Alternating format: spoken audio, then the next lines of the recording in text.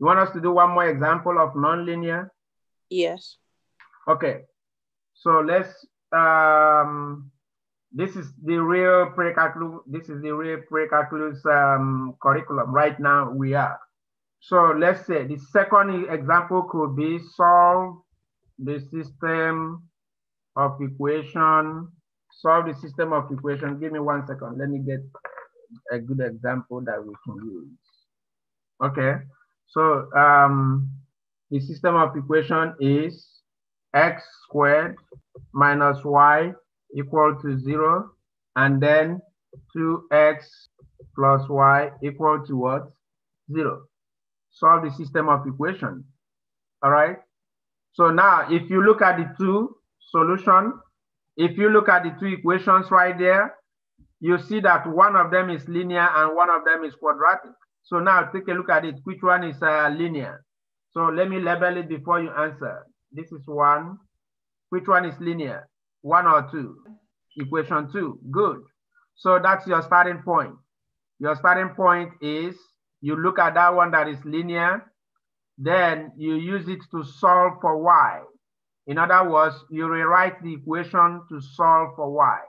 All right. So you can say, um, considering two, considering two, then y is equal to, if you just move 2x to the right side, it becomes negative 2x, negative 2x. All right. If you add zero to any number, it remains the same. Nothing basically is added. So then you can now say substitute, substitute y equal to negative 2x into equation one, into equation one. So what that means is if we perform that operation, we are going to get x squared minus bracket negative 2x equal to zero. And if you take a look at it, to simplify, negative times negative is positive. So your equation becomes x squared plus 2x, you know, um, equal to zero. All right, so this is now a quadratic equation. It is a quadratic equation because it is of the form ax squared plus bx plus c equal to zero. So in this case, if you like, you can call this equation three. In this case, what is c? What is c? Zero. Yes, a is one, b is two, and c is zero. All right, so uh, then we can we can use formula or we can factorize. So which one do you want? The formula. Okay. So you write a formula always, even though even though you know it, still write it. So our x is equal to negative b plus or minus square root of b squared minus 4ac divided by 2a. Next is substitute your values. So in order to substitute your values, you are going to have x is equal to negative, uh, 2 plus or minus square root of 2 squared minus 4 times a is 1 times c is um, 0 divided by 2 times 1. All right, so this becomes easier. 4 times 1 is 4. 4 times 0 is 0. All right, so this is uh, simplifies to be negative 2 plus or minus square root of square root of 4, right? Divide by 2. So square root of 4 is what? 2. All right, so that gives us that our x is equal to negative 2 plus or minus 2 over 2, which is the same thing as saying negative 2 over over 2. Mr. Keeper, where'd you get 4 from? Look at here. Look at here. Can you see where I'm highlighting now? Yes. So that's 2 squared. Yes. 2 squared is 4. Mm-hmm. Square root of 4 is 2. Mm-hmm. So how do we get the 2? The 2 is right here. This 2 plus 0. So considering that equation, B is 2. And that's the only, that's what we substituted. No, but in your final, your final thing, you have square root 4. Yes. because I have two, uh, you have b squared. So when you substitute two to b, that's going to be two squared, and two squared is four.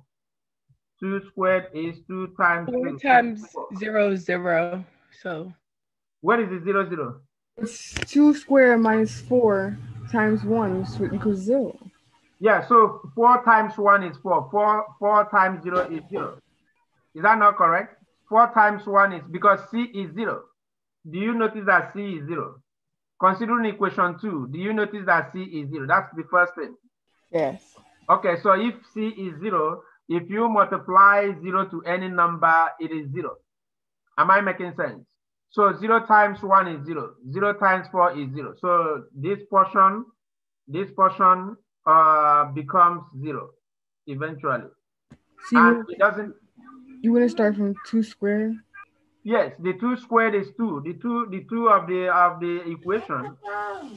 the Which equals four minus four. No, you are not you are not doing PEMDAS. You have to do PEMDAS. Remember PEMDAS. What does PEMDAS say? Parentheses, exponent, multiplication, division, addition, subtraction. Exactly, PEMDAS. All right, now if you're doing PEMDAS, you have to do the multiplication first before you consider either addition or subtraction. So that's why that's why you say if it is 4 dot 4 multiplied by A multiplied by C, it is 4 times 4 times 1 times 0. So you have to do multiplication first. That's why I had to do this. 4 times 1 is 4. Uh, 4 times 0 is 0. So the B doesn't is not affected by A because you have to evaluate you have to evaluate this one before going to the B. That's according to PEMDAS. Okay, I get it now. You got it now?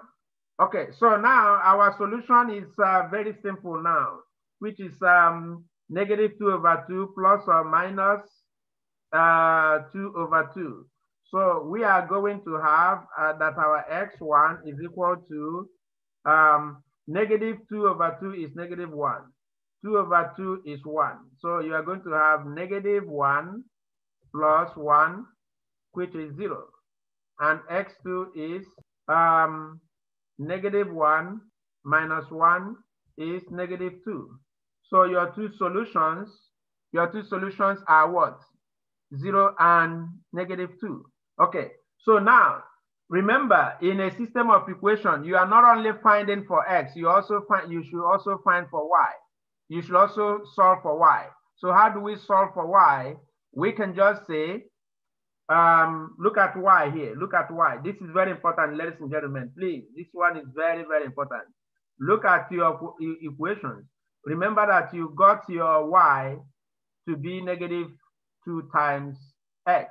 All right. So you can just use that to solve for y. So then, uh, since you have two solutions, you will say substitute, substitute x1 equal to 0 we and negative two from when it says equal negative two.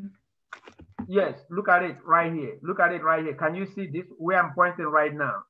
Um, can you see this one? Negative 2 plus or minus 2 divided by 2. So if you separate it, that's going to be 2 divided by 2 plus or minus 2 divided by 2. So if you cancel out, 2 divided by 2 is negative 1, right? And 2 divided by 2 is 1. So the first one becomes negative 1 plus 1 the second one becomes negative 1 minus 1. And negative 1 minus 1 is negative 2.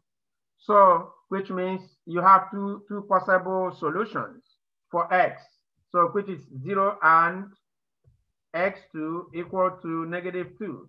Now, you are going to substitute these values to um, substitute this into, into y equal to negative 2x. All right?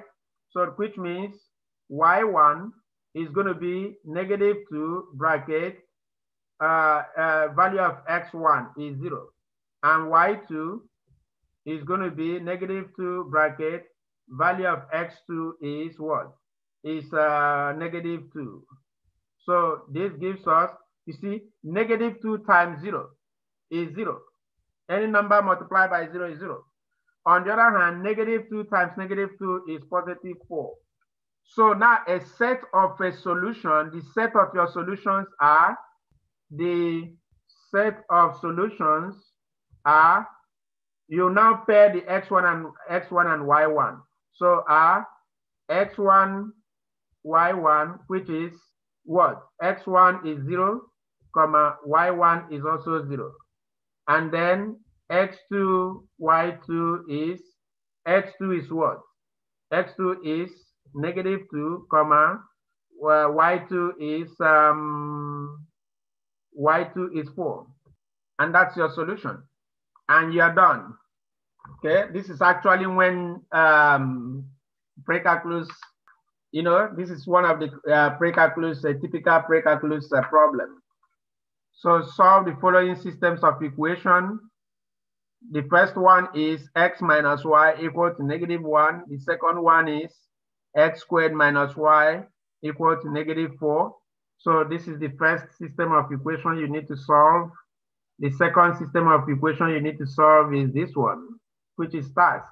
And that one is write, write at Thank- least, write at least three paragraphs of what you learned today.